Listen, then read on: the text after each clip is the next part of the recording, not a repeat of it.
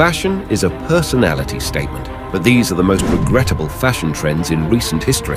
1900s, corsets. Women forced their bodies in these corsets, which would often misalign the spine and deform ribs.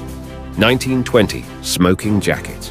Smoking jackets, in reality, was glorified bathrobes. They were always made of hideous maroon velvety cloth and saturated with unfiltered cigarette smoke. 1960s, white gloves. For no apparent reason, white gloves were worn with every outfit, although it was meant to be worn by a butler, a Disney toon, or an opera singer. 1960, patterned tights. The idea that multi-patterned tights would flatter anybody's leg was seriously mistaken.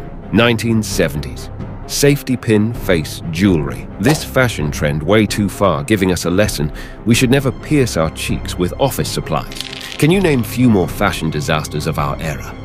Comment below. For more unique videos, follow Shutpix.